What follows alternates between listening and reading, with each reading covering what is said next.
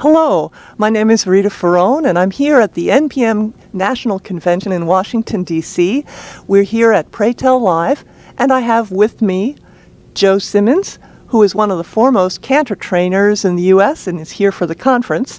And we got him over here to Pray Tell Live just to give us his thoughts on cantors. I wanted to ask you a specific question, Joe, okay. and that is could you tell us, just in uh, few words, if there's one thing that cantors really need, what would that be?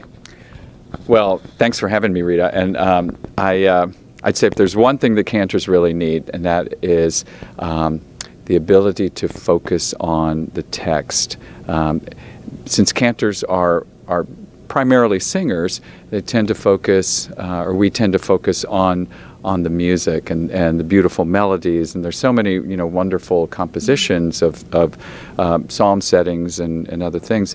Um, but if there's one thing that I think cantors really need to focus on is how to work with text and, and how to um, how to pray with that text and how to um, find the important words and how to actually communicate uh, the important ideas in a psalm.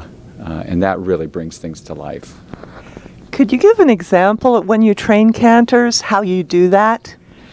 Yeah, I, I um, often will have cantors um, speak the text and, and talk about their experience and what what the, the psalm actually means to them and what it means to to the assembly or what it might mean to the assembly because of course you you, you can't know that for every single person in a, in a congregation um, and and and we we do a sort of text analysis and and a kind of experiential um, exercise as well and sometimes I do role playing with them and uh, you know, all different kinds of things to really bring that text to life. And then the music comes along with that, and the music illuminates the text.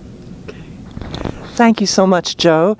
I neglected to mention when I introduced you that uh, Joe is one of our New York neighbors, so it's nice to see you in a different venue. And thank you all.